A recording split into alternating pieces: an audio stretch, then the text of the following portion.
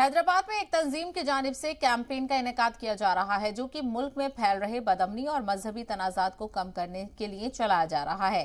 तंजीम के सरबरा का कहना है, इस कैंपेन के ज़रिए लोगों को मोहब्बत और इस्लाम में बताए गए रास्तों पर चलने का पैगाम पहुँचाया जाएगा और लोगों को मुल्क से मोहब्बत और मिलजुल कर रहने की अपील की जाएगी।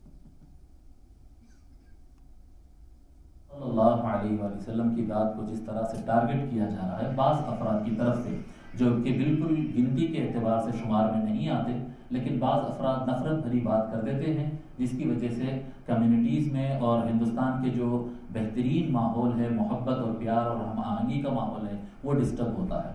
तो इसके खिलाफ एक मिशन के तौर पर हम जो है शुरू कर रहे हैं। हजूर सल्लल्लाहु अलैहि वसल्लम की ज़िंदगी किस तरह से थी, इसको सीखना और सिखाना, ये एक मिशन शुरू कर रहे हैं। इसका किताब है असल हमारे हाथ में real sketch of prophet Muhammad सल्लल्लाहु अलैहि वसल्लम।